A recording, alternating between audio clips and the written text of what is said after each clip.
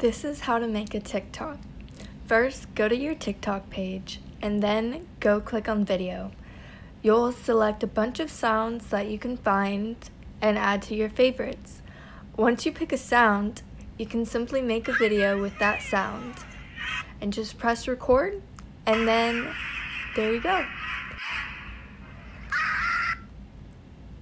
And then once you're done making your TikTok, you can type whatever caption you want and you can do a bunch of edits and filters and then once that is done, you can go check out how your video came out. And then you can just post it